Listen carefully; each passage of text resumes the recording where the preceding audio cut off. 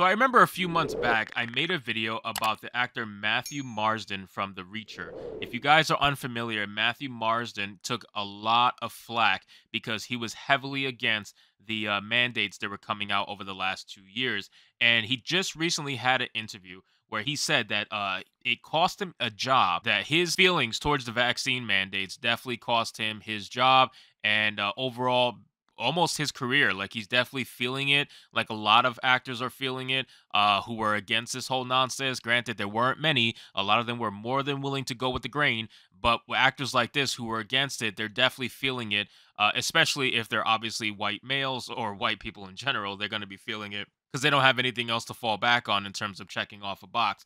So these people definitely are feeling the uh, the effects of going against the grain. Uh, but this interview is very interesting because he basically says that if more people stood up against this nonsense, it would have gone away. And I agree with that 100%. So we're going to get into the article, guys, from Bounding into Comics. It says Reacher actor Matthew Marsden reveals his opposition to the mandates recently cost them a job. And if more people stood up, these would have gone away. Guys, before we get into the article, if you can like this video, it would help spread out the video. We are trying to fight YouTube suppression. If you guys can like the video, I would greatly, greatly appreciate it. Share it with your friends, all that nonsense. I'm working every single day to try to get us through this whole uh, little hurdle we have with YouTube. So it says throughout the pandemic, the politically outspoken Matthew Marsden has been vocal in his denouncing the draconian mandates imposed by companies across the world and the country, especially in Hollywood. And the funny thing is, the actress who played uh, Shuri in Black Panther was also one of the actors in Hollywood who was heavily against all the mandates. But the big difference is that she is a black female, so she had something to fall back on if she got canceled for one ideology. They are not going to completely turn against her, even though they tried to. They definitely tried to, but with the tragic passing of Chadwick Boseman, they were unfortunately forced to rely on her to carry the storyline. So they decided to uh, bring her back at that point and like try to show her love when they clearly didn't really want to. It says, and it turns out, as recently revealed by the actor who portrayed the title character's father Stan in Amazon's Reacher, this, the strength of his convictions, has even cost him a job opportunity. One of the reasons I spoke out on Twitter is because I saw that people felt like they didn't have a say, which is part of the reason why I started my channel, by the way. I felt the same way. It says, tweeted Marsden on December 8th, I am aware of the risk involved and I appreciate the DMs supporting me. To this end, he then revealed, I lost a job last week because I am unvaccinated and I will not lie about it. If more people stood up in Hollywood or in any other profession and said no, then these mandates would have gone away. And I agree with that 1 million percent. It is the complacency of people that allow that to take over in the first place. Without getting too political, because like I said, this is not really a political channel, but straightforward speaking, a lot of this was only allowed because people allowed it. They wanted to trade their freedoms, they wanted to trade their autonomy for literally feeling somewhat safe, even though honestly, you weren't any more safe than you were before that. You just felt like you were. So you were willing to give it all up for that little bit of safety that was just fake safety at the end of the day.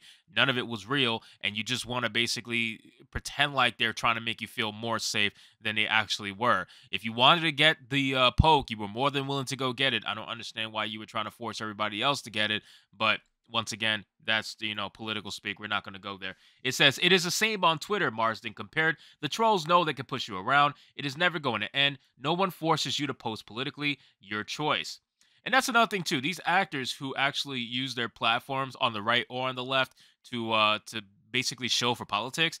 I don't really know if I necessarily agree with that because, like I said, I troll a lot of lefties that use their platform uh, for politics when they should be focusing on entertainment and stuff like that, if that's what your field is.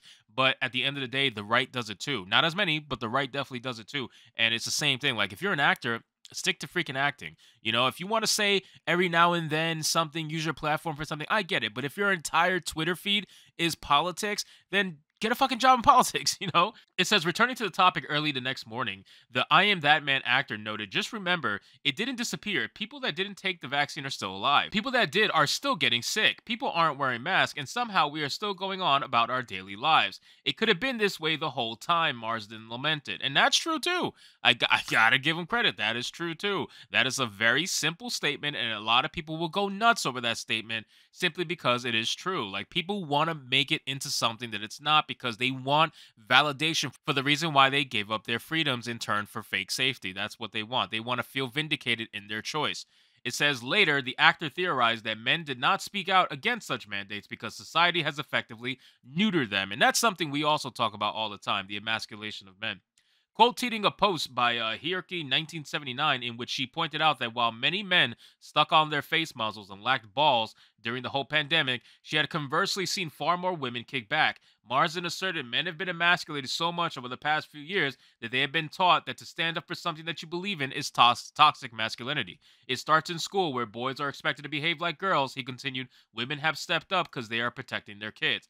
And you know what's funny? If you go back, I made a video about this whole thing about the emasculation of men and i basically said that it's going to come to a point sadly that it's going to take women getting fed up in order for things to change because it seems like the majority of men are just so lacking in balls these days and that's just through years and years and decades of, of mental training and and trying to teach men that how they feel is super toxic and and being masculine is toxic and all this fucking nonsense but it is unfortunate and it's going to take women getting really fed up to actually see changes. Honestly, I think that's what's going to happen.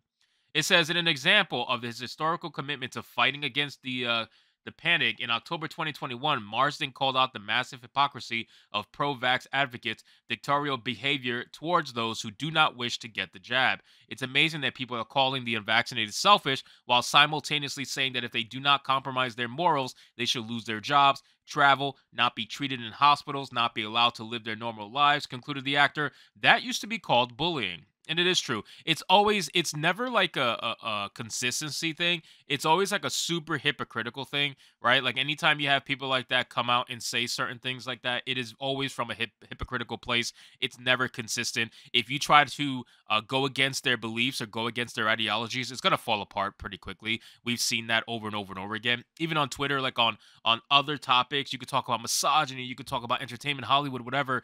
Whenever you get someone who's a shill and you go against their beliefs beliefs and you start to question them, they never want to have the conversation. It's usually just a shouting match, and then when they start coming out or running out of things to say, then they basically say, "Well, I don't have to. I don't have to talk to you. I don't have to engage in this. I'm just gonna block you." And then that's it. They never want to have a conversation because their ideology is only go gonna go as far as what someone told them. They don't actually think for themselves at the end of the day. So when they have when they are forced to think for themselves, that's when things are brought to light. So anyway, guys, thank you so much for watching this video. I hope you did enjoy it. If you did, consider leaving me a subscribe subscribe. I would greatly appreciate it. Don't forget to like the video, comment, let me know what you thought your Dota story, and I'll see you guys on the next one.